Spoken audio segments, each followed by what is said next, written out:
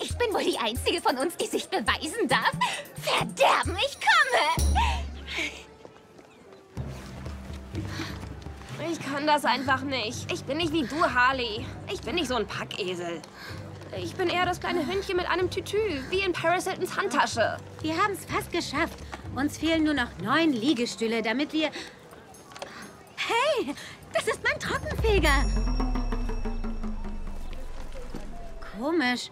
Niemand benutzt ihn. Oh ja, was für eine Überraschung, weil man sich bei so brütender Hitze doch eigentlich um heiße Luft prügeln sollte.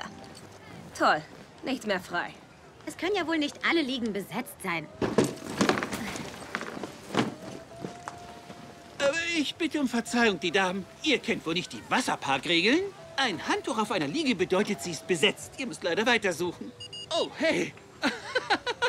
ich habe mein Pensum für heute erledigt. Nein, Moment. Nacktes Kleinkind im Geschenkeshop? Entschuldigt mich. Vielleicht hattest du recht.